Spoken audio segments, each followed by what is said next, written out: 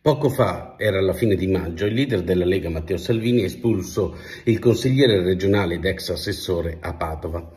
La sua colpa è stata quella di aver sostenuto a Mestrino, un comune piccolo di circa 10.000 anime, il suo ex vice sindaco e non il candidato del partito.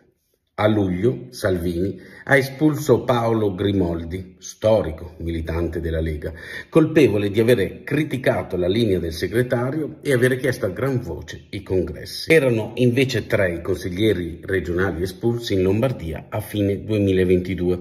Il Consiglio dei Saggi della Lega, ai tempi composto da Calderoli, Giorgetti, Bosatra e Centemero, parlò addirittura di tradimento a marzo di quest'anno è stato espulso l'ex segretario regionale della Liga, ex sindaco di Vittorio Veneto e al tempo europarlamentare Gian Antonio Dare. Aveva contestato le scelte di Salvini sulle candidature alle elezioni europee, in primis il generale Roberto Vannacci. A casa.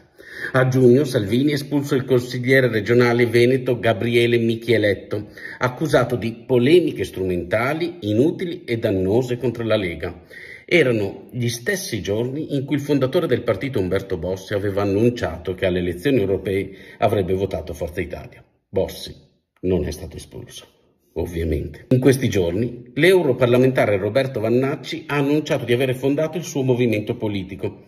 I suoi accoliti dicono che potrebbe anche diventare un partito. Chissà.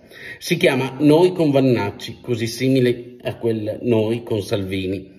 Ovviamente tutto accade senza congressi, senza nulla. Vannacci l'ha fatta più grossa degli espulsi, ma Salvini tace, è mansueto. Il capitano, in certe occasioni, diventa mozzo.